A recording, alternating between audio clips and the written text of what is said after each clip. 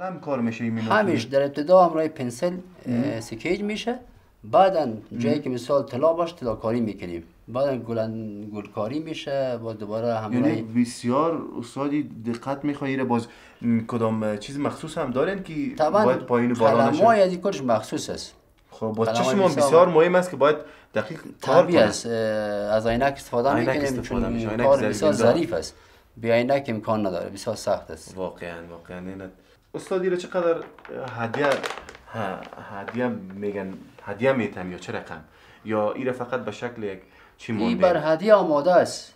اما مشکلی است که در افغانستان ما شما قدر ما نیست واقعیتش. هر کسی وقتی که می‌بینه بسیار تشویق می‌کنه واه واه واه واه اما یک کس نیست که طالب که چند هدیه ازی. هیچ کس حاضر نشده. ما اینا رو به کشورهای عربی میفرستیم. خواه خواه این